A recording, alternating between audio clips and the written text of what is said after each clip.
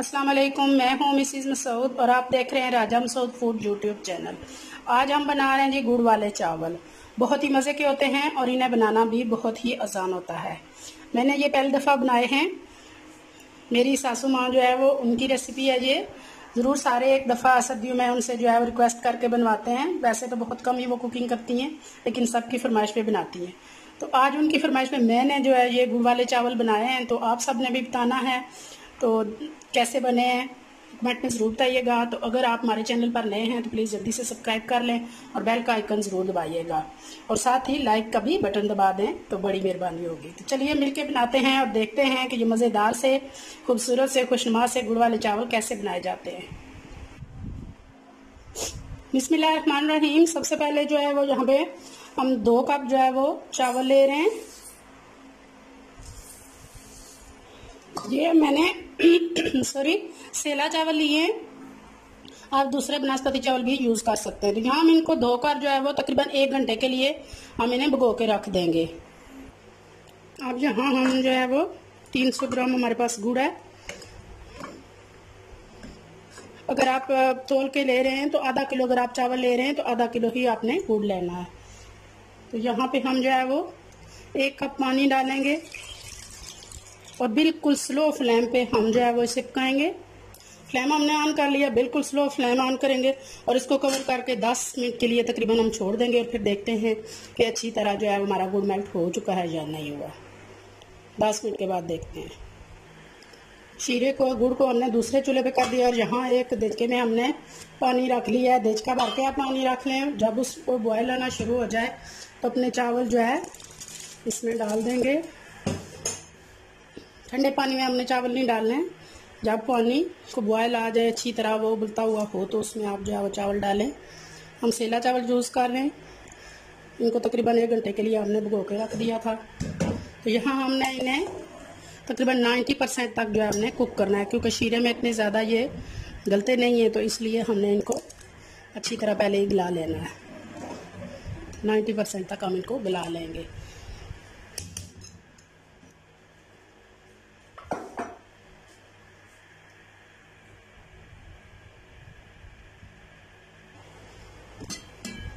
यहाँ आप देख सकते हैं कि हमारा गुड़ अच्छी तरह जो है, थोड़ा थोड़ा भी रह गया है।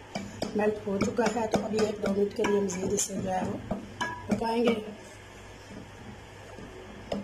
थोड़ा थोड़ा बीच में रह गया है। एक से दो मिनट के लिए मज़ीद इसे जो है वो पका लेंगे। देखिए, हमारा गुड़ मेल्ट हो चुका है, हमारा शीरा अच्छी तरह तैयार हो चुका है। एक कप पानी में ही हमने इसे पकाया था।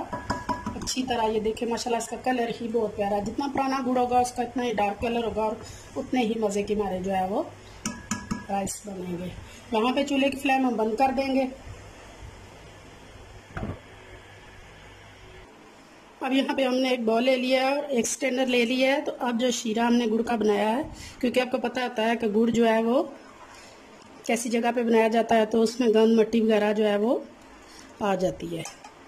तो छाड़ने से ये है कि जो तिनके वगैरह और गंद है, जैसा आप देख सकते हैं कि ये इसमें गंद आया है। ये निकल जाएगा, लेकिन मट्टी इसको हम इसी तरह रखेंगे। आराम के साथ उठाएँगे, ऊपर से हम डाल देंगे, नीचे मिट्टी जो है वो बैठ जाएगी। आप देख सकते हैं कि कितना गंद जो है वो इसमें निकला है। सफ़ाई का खास ख्याल रखें आप जब भी ये बनाएँ। हमारे चावल जो है वो अच्छी तरह गल चुके हैं। आप देख सकते हैं। तो अब चूल्हे की फ्लेम बंद कर लेंगे और हम इनको छान लेंगे।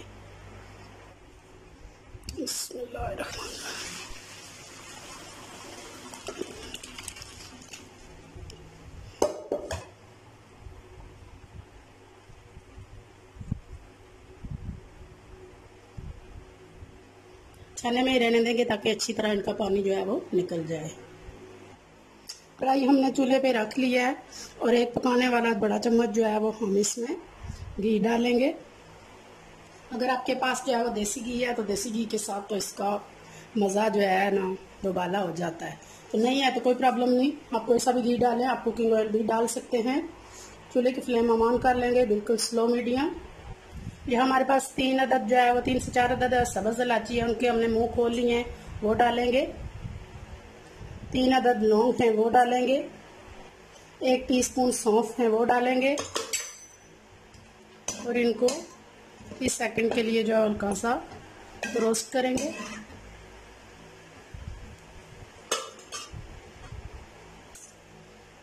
तो अब यहाँ पे हमने ये थोड़े से बादाम है, इनको हमने छिलका उतार लिया है, गर्म पानी में भिगोकर वो डालेंगे। किशमिश है।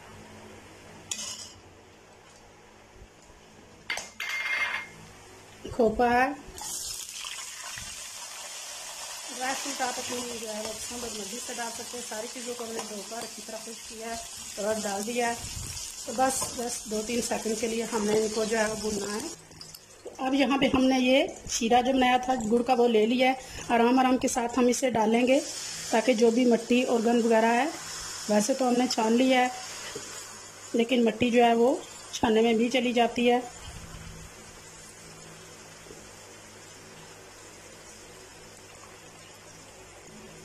तो यहाँ हम ये थोड़ा सा जो है बाकी रहने देंगे ताकि मिट्टी वगैरह जो है वो नीचे रह जाए। शीरे को जहाँ हम बॉयल आने तक जो है पकाएँगे, जब तक इसको बॉयल आता है, क्योंकि ये ठंडा हो चुका है। शीरे को जो है बॉयल आना शुरू हो चुका है, आप देख सकते हैं कि ये किस हो गया है। तो अब हम अपने चावल इसमें डाल देंगे।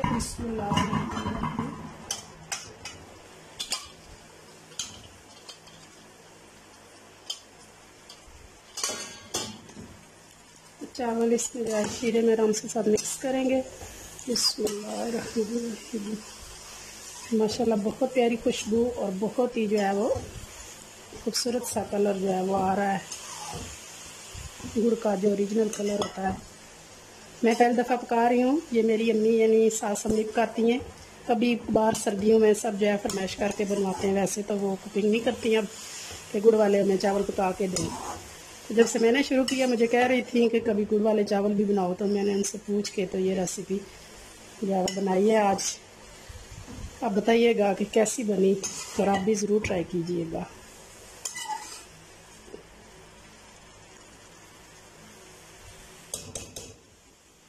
तो यहाँ हम जो है वो थोड़ी देर के लिए तेज़ हमने आँच रखनी है, एक दो मिनट के लिए। जब अच्छी तरह जो है वो चावल हमारे गर्म हो चुके हैं तो हमने फ्लेम स्लो कर देनी है और इसको 10 मिनट के लिए दम लगाना है। आप देख सकते हैं कि नीचे जो है वो शीरे ने जो है पानी छोड़ा है। चावल के अंदर भी पानी होता है, इसीलिए हमने 90 परसेंट इन चावलों को गलाया था 10 परसेंट हमने फ़र्क छोड़ा था। तो अभी हम हम फ्लेम स्लो कर देंगे और इसको 10 मिनट के लिए जो है वो दम लगा देंगे। पंद्रह मिनट तकरीबन गुजर चुके हैं तो दम निकालते हैं। माशाल्लाह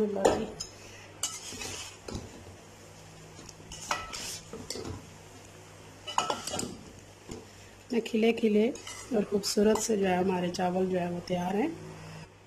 एक खूबसूरत सी जो है वो इनमें शाइन है, लुक है और देखें माशाल्लाह से बहुत खूबसूरत। तो चले फाइनली इन्हें डिश आउट करते हैं। बिस्मिल्लाहिर्रहमानिर्रहीम।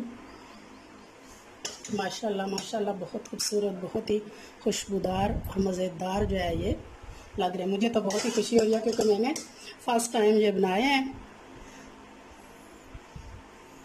अब देखते हैं सबको कैसे लगते हैं। आप भी ज़रूर बताइएगा।